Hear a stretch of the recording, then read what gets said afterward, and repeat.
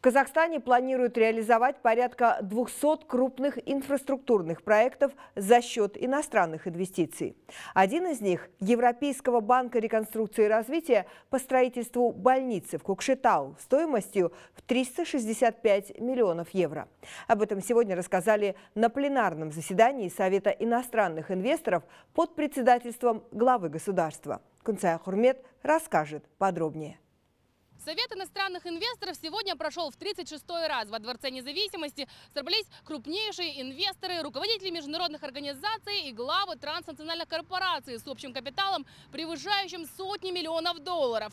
В прошлом году в это же время они обсуждали, как диджитализировать экономику. А уже сегодня в фокусе внимания был новый инвестиционный цикл Казахстана. Задачи перед Казахстаном стоят глобальные – привлечь в экономику страны в течение пяти лет дополнительно 150 миллиардов долларов инвестиций. Напомню, за всю историю независимости нам удалось привлечь 417 миллиардов. И те, кто поверил в потенциал Казахстана и вложил средства в нашу экономику, сегодня за круглым столом под председательством президента Тукаева говорили о том, что сделано и что предстоит сделать. 2029. Недавно принятый национальный инфраструктурный план до 2029 года года открывает окно возможностей для местных производителей. Будет реализовано около 200 крупных инфраструктурных проектов, оцениваемых более чем 86 миллиардов долларов. Правительство сформирует список товаров для локализации офтейк контрактов. Для промышленного роста необходима высококвалифицированная рабочая сила. Поэтому я объявил 2025 год годом рабочих профессий. Геологоразведка, водные ресурсы, промышленность, зеленая энергетика, сельское хозяйство, транспорт и логистика. Это те направления, где есть большой инвестиционный инвестиционный потенциал, считает Касмжамар Токаев. Ну и, конечно, энергоресурсы. За 30 лет добыча нефти увеличилась в три раза. Казахстан вошел в пятерку стран с высокими темпами роста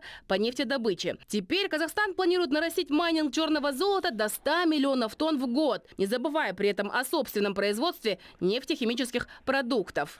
Polypropylene plant в 2022 году мы запустили крупнейший в Центральной Азии завод по производству полипропилена мощностью 500 тысяч тонн в год. В настоящее время это предприятие покрывает почти 60% внутреннего спроса и экспортирует продукцию в Европу, Турцию и Китай. В сентябре этого года начато строительство завода по производству полиэтилена мощностью 1,2 миллиона тонн в год. Проработки ряд нефтехимических проектов стоимостью более 14 миллиардов долларов. Казахстан планирует расширять свои транспортно-логистические возможности для развития Открытие транскаспийского международного транспортного маршрута в стране планируют отремонтировать 11 тысяч километров старых железных дорог и построить больше 5 тысяч новых. Впрочем, инвесторы заинтересованы в нашей стране не только как в перспективном транзитном узле, но и видят потенциал в локализации производства.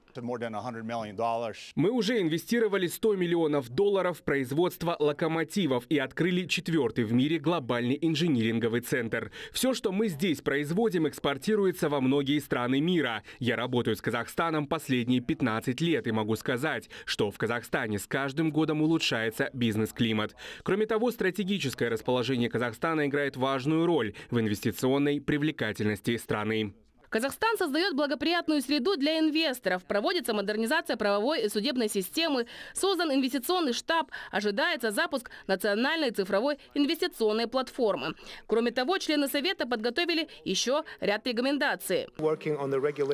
Продолжить работу над регулированием сертифицированных облачных дата-сервисов для обработки персональных данных в соответствии с принципами доверенного облака международным стандартам GDPR. Внедрение политики классификации данных, пересмотреть требования локализации данных для критически важной инфраструктуры, домена банковских систем и систем обрабатывающих данных. Вступление нового налогового кодекса мы искренне надеемся, что будет улучшать инвестиционный климат в долгосрочной перспективе. Кроме того, теперь в каждом регионе заработают региональные инвестиционные штабы, а в рамках программы прокурорского фильтра правовое сопровождение проектов иностранных инвесторов стало одной из ключевых задач ведомства.